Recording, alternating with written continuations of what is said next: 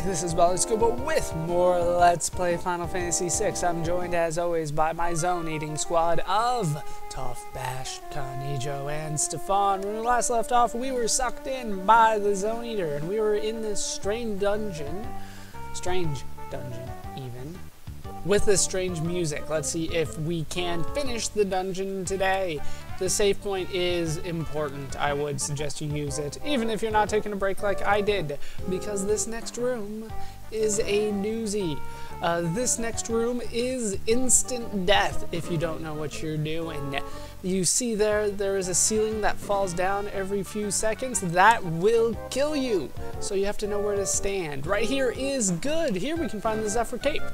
And unfortunately, I cannot go into the menu to look at that just yet. So we're to have to head over here and get ourselves the hero ring. We do know what that is. This is the tricky part right here. You want to go all the way left, over, down two. That should be good. Right there. We barely made it. Now we got to be quick here. Let's head up here and get ourselves a tack star. And now we are out of range of the falling ceiling. That is instant death. That will kill you and you will get a game over if you let that hit you. Let's take a look at what we did get though. Let's go ahead and arrange that. Let's see what we got. Uh, of course, I'm not going to be getting rid of any of this, especially on Toph, uh, but if I wanted to, I can get the removal charm on him, which is always nice. Uh, but the Zephyr Cape, if you remember, we have seen before. I think we have multiple ones of these. It helps you dodge. Really, just the magic block is, is what helps you there. But in case it works in other versions of the game that you are playing, it'll raise your, raise your evade as well. Now I think that is it. Uh, we do have another hero ring. Always nice to get another one of those. Uh, but we also got the Tack Star, which is a throwing item. Yeah, it's throwing, unfortunately. Uh, we did arrange, so let's see where it would be here. There we go. It is a throwing star.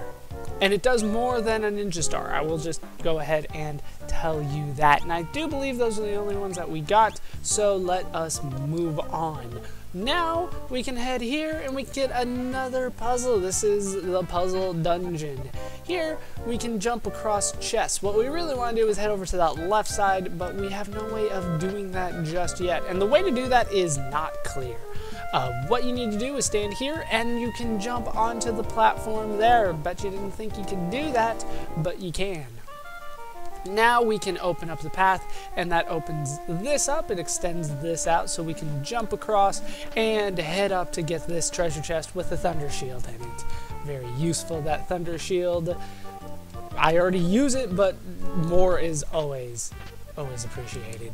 Now we are free to head on to the end of the dungeon. I wonder what the big boss here is going to be. You look like a pirate or a thief in the night. Are you one of Alibaba's thieves? Shrouded in odd clothing. Is this a man, a woman, or should we ask? His name is not Gogo. His name is Marcel. Now, the game did kind of hint, and I should officially say that Marcel does not have a gender. It is neither a he nor a she. You're supposed to refer to Marcel as it. However, I struggle doing that, trying to keep that up for a long amount of time, so if I leak out a him every once in a while, or a he, that's just me slipping up. Officially, it is, it is an it.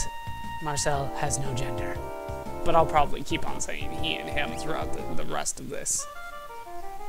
I am Marcel, master of the simulacrum. My miming skills will astonish you. Yes, I have been idle for too long. If I deem you worthy, I'll mime your actions in battle. But first you must tell me what you're doing here. We got sucked in by a Eater. What an unusual tale. But I sense that you're trying to help make things right again. This should be fun. When do we leave? And without really thinking twice about it, Marcel has joined the party. We've just allowed him in. Now, I do believe these Ogres are new. I could be wrong, though. Yeah, just jump. Whatever. Go and jump and use a Revivify. Hooray. I love having to use Revivifies. As you see, though, I do have a ton of them. And I'm going to have to use a few here because they keep on doing this. Oh, God, I hate zombie status. I hate zombie status. Even though technically, seriously, oh God, zombie on somebody with that is just awful. Okay. Hopefully they don't both die. They did! Hooray! I will take care of this off screen. I got a couple revivifies out of that. Uh, actually, i am just going to warp on out of here. Warp is the best thing for me at this point. Why walk out when I can warp out?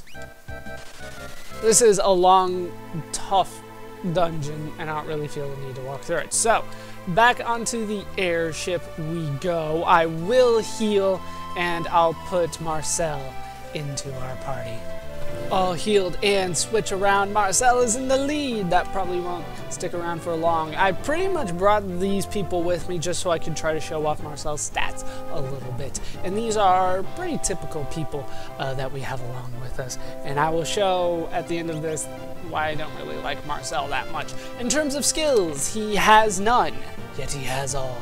Once again, I'm calling him a he. It's an it. Marcel is an it. Uh, you can equip him uh, with uh, knives and rods. What you really want to do is give uh, Marcel the, the Mage's Rod. I'll just go with Marcel from now on uh, because you want to up Marcel's magic power. That is the primary thing that you want to keep in mind with Marcel is, is magic power. And the reason for that uh, is because Marcel does not have any skills of Marcel's own. Uh, you can give Marcel relics, which is always good, but no no skills. See, Marcel works a lot like Sam does. But let's take a look at Marcel's stats and we can figure out what the hell is going on with Marcel. Marcel is a mimic. The way that it works is that you have a battle party with people in it. They do moves, and then you can hit mimic, and Marcel does the exact same move fairly, fairly useful. With the party that I have now, I would probably be using Marcel with blitzes most of the time, uh, bum rush and airwave, and that's why I want to increase Marcel's magic power. I have nobody equipped. Everybody is empty as of now, so I can just go off base stats right now. Look at the battle power. Battle power of 23 on Marcel, as opposed to 36, 21, and 20. These two are my mages. Marcel is not supposed to be a mage. Marcel is supposed to be an all-around guy. All-around it. Uh, but really, at the end of the day, does not work very well for actual fighting. Uh, battle power is very low. About the same as my mages. Vigor, also incredibly low. I think that's actually lower than anybody else. As you can see, Rose is three levels lower than him and has one more vigor than he does.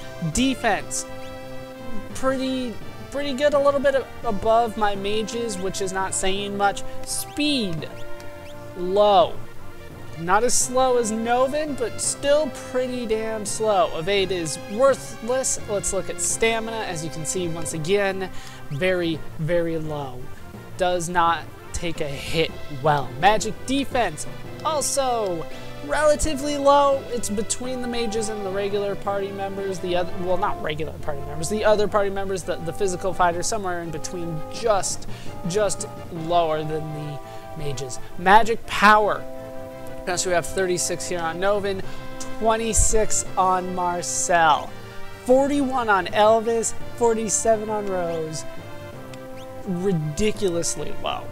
As a result, and as a result of the fact that you can't increase that through the use of any sort of Esper leveling, Marcel sucks at, at, a lot of things, and as a result, I don't like using him very often, which is why you want to equip him with the Mage's Rod in order to get that magic power as high as possible. If I had two of them, I might give him a Genji glove with him just to increase the magic power as much as I can.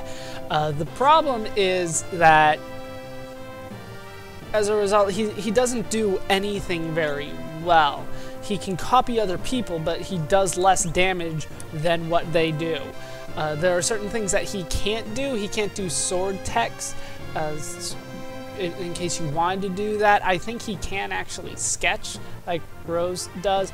Uh, but as a result, you kind of want to use him as a backup mage, kind of like a, I, guess like a support magic kind of guy. Not necessarily white mage, but status effects, instant death, uh, life, that kind of stuff. You want to use him for that. And that's pretty much it. You have a lot of better party members than Marcel, unfortunately. But this is the last new party member, so I figured I would go over him. I'm going to bring a real party to our next destination. This one should be a doozy.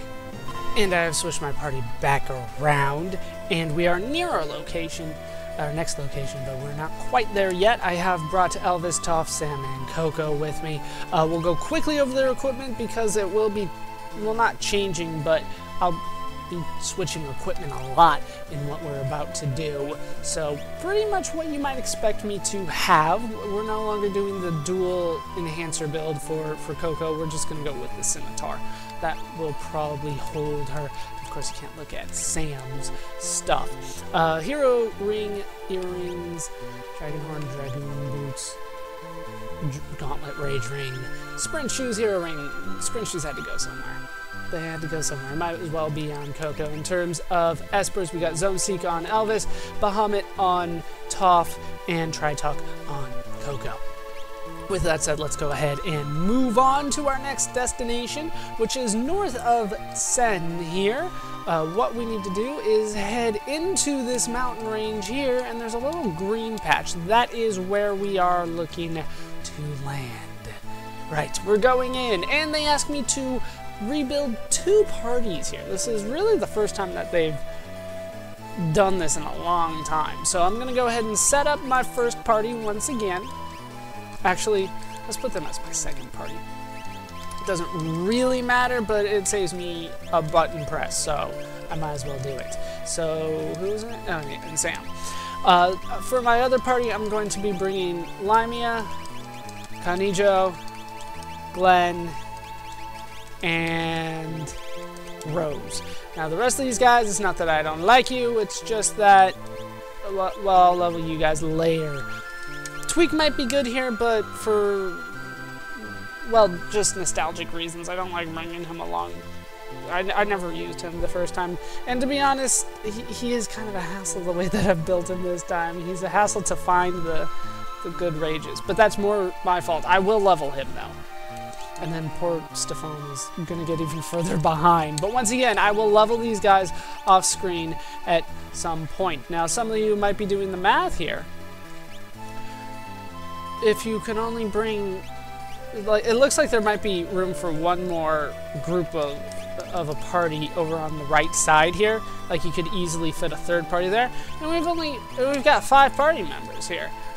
And we're still missing a party member. Remember that Luke has not been here for a long time, so it looks like even if we formed three groups, we would still have extra characters. That just tells you how many characters there are this time. But we are ready to move on into well, the guy in uh, Jidoor in the auction house might have told us about this. This is the Phoenix Cave.